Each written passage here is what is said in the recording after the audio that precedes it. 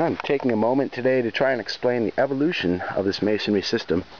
These are the first kind of generation of triangular masonry blocks that I produced. They are mass produced on a concrete block machine. These were made on a Columbia, three at a time.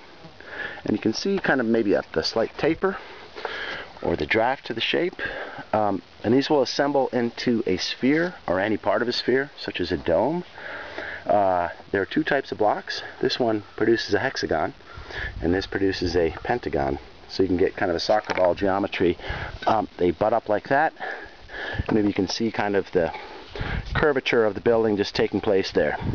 The problem with these is that they don't interconnect and uh, they rely strictly on, on mortar and gravity. And they, they can be dry stacked, but um, if they slide out of position, it can cause problems. So I looked at creating an interlock, and initially I have a mechanism where you can just drill a hole directly through these abutting faces and put a dowel pin in. But that's very tedious and time consuming. So I went to this other system.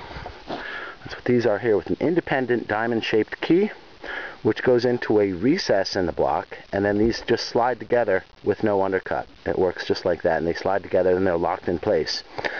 The problem with this shape is that in terms of popping out of a mold, this creates an undercut, so it can't release from a mold. You have to have sliding cams to release these three half diamond shapes.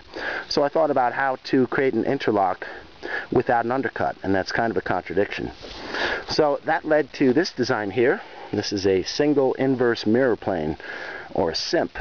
And on the abutting face here, exactly halfway through, there's an imaginary plane which is an inverse mirror plane, so that what sticks out on this side is a recess on this side.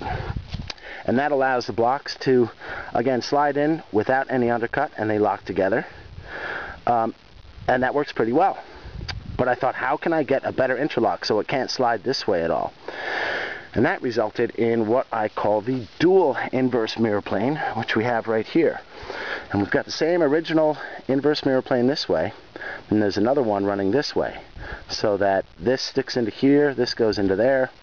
Each one is the opposite draft, and it can be produced on a two-piece mold without any undercut. Um, and then when you put these together, they completely lock lock in place.